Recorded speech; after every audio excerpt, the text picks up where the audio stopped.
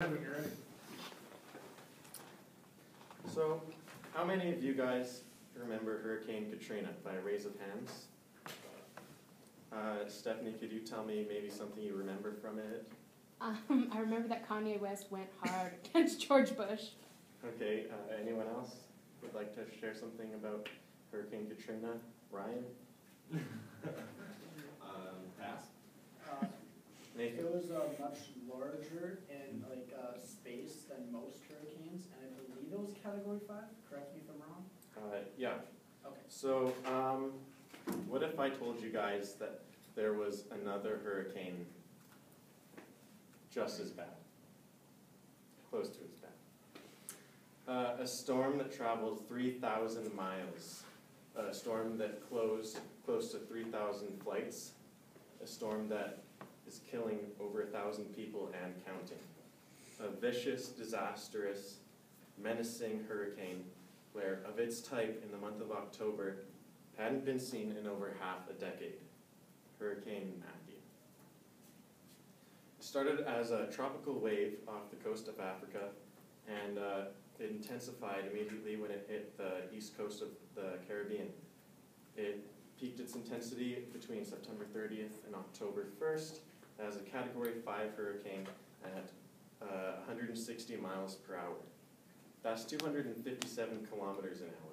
How many of you guys scare yourselves sometimes when you pass someone on the highway just over 100? so, uh, it was the first Category 5 hurricane in the Atlantic since 2007.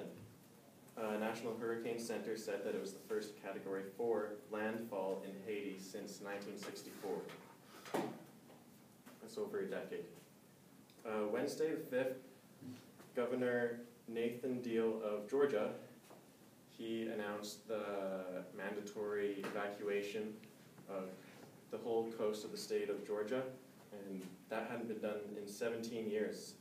So, uh, following that, Thursday 6th is when uh, the coast swarmed the coast, sorry, the hurricane swarmed the coast of Florida uh, after tearing up the Caribbean. Uh, meanwhile, over in Haiti, there were already counted over a thousand dead. There, the ground was scattered with bodies decomposing, and they had to start mass burials with the concern of the spread of cholera. Following that, Daytona Beach. You might have heard, heard of it. It's one of the most famous beaches in, beaches in the U.S. Uh, it has the a NASCAR speedway with the annual Daytona 500, has huge carnival parks. It was stormed by walls of water, absolutely wiping away million dollar beach homes, deteriorating them, and uh, much more than that. By Friday, there was over 300,000 homes and businesses in Florida that had lost all their power. CNN's meteorologist Allison Chinchar said, Matthews is the longest lasting Category 4 and 5 hurricane in the month of October since record keeping began more than 50 years ago.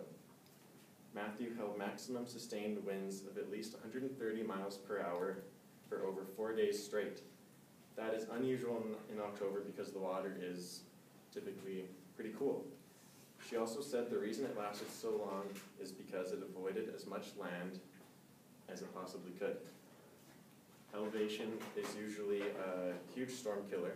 The fact that it never touched down on a big landmass or high eleva- elevation is why it maintained its intensity. So, with all the science behind it put aside, Hurricane Matthew took away over a thousand lives, and the count is still going up. It is, it is impossible to account for all the damage done so far in the Caribbean, in the US. So, uh, how can you help? Is an important question that I think we all, all over the world can ask ourselves. Here's a few options. You can make donations um, at redcross.org.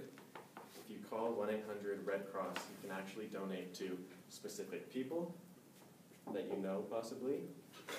Um, a couple other organizations organizations are the Southern Baptist Disaster Relief as well as Salvation Army. You can donate through them and contact and find ways to help.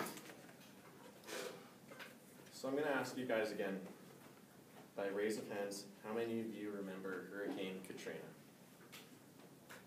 So, all of you. How many of you will never forget Hurricane Matthew? All of you again. So to conclude, I just wanna say, it's hard to grasp that this is a real current event. And even through all my research and gathering my information for this, it was hard for me to understand that this is actually happening right now to real people and it is affecting so many lives.